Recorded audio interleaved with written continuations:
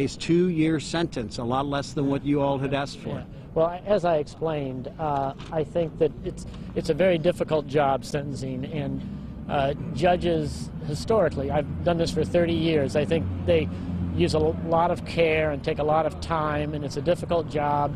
And sometimes we say, see things differently, but but I respect the sentence that the judge gives. Uh, and, and it should be noted that I've been covering courts a lot, and David Harbaugh, uh, your guy, U.S. Attorney, had one of the most amazing closings uh, in that I've ever seen in a court, and they've worked very hard on this case. I mean, it was Perry Mason-esque. It was a uh, the, the entire trial team did a terrific job, David included. Yeah. Okay, what happens now with Maureen McDonnell? I mean, he got two years. Does she get probation? Uh, I, I think I think each case is decided independently on the facts, but so we'll just have to wait and see what our position is and what the court's sentence is. And do you regret anything? When you're going back and looking over it, I, I, I do not Did have any closing today have anything to do with it?